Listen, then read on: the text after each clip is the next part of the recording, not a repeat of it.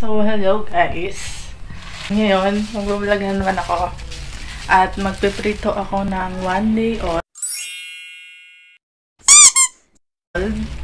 So, na-request ko to kay Pops na bumili siya sa Mabay Siha. Ang ina-expect ko lang na bibili niya is tatlong piraso. Grabe, sobrang dami pala niya. Magpiprito tayo. At titikman natin siya.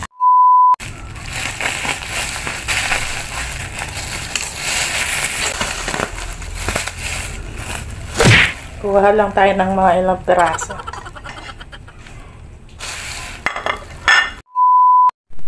So, ayan yung itsura niya guys. One day old.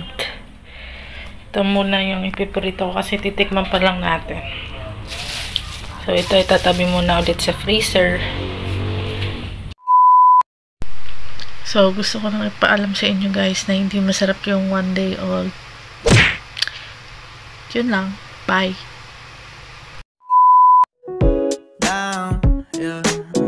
I've been feeling so, I've been feeling so down, yeah. Can you tell me why? Can you tell me why I'm down?